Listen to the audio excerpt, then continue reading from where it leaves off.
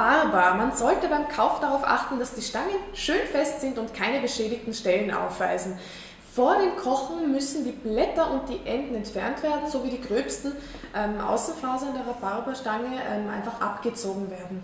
Ähm, meist in kleinere Stücke geschnitten steht dann dem süß-sauren Vergnügen nichts im Wege. Man genießt Rhabarber roh mit etwas Zucker bestreut in Kompotts, in Gelees oder auch als Gemüsebeilage zu würzigeren Speisen.